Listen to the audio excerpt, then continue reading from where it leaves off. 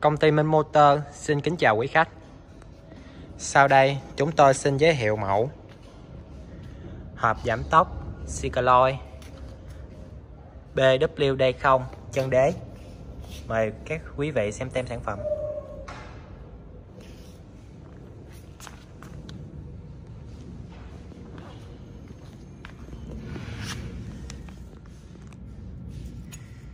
Chiều dài trục 35mm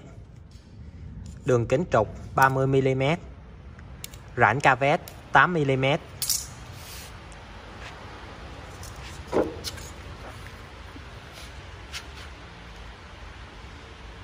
Chiều dài Cycloid 214mm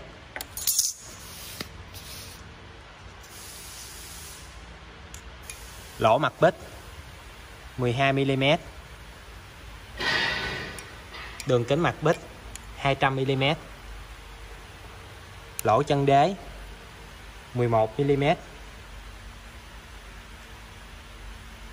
Chiều dài chân đế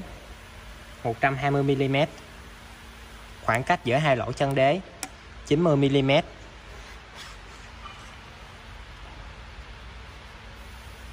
Chiều ngang giữa hai chân đế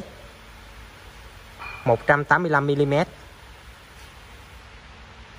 Khoảng cách giữa hai lỗ, chiều ngang 150mm Với các tỷ số truyền, có được là tỷ số truyền 11 tốc độ trục ra 127 tỷ số truyền 17 tốc độ trục ra 82 tỷ số truyền 23 tốc độ trục ra 61 tỷ số truyền 29 tốc độ trục ra 48 tỷ số truyền 35 tốc độ trục ra 40 tỷ số truyền 43 tốc độ trục ra 33 tỷ số truyền 59 tốc độ trục ra 24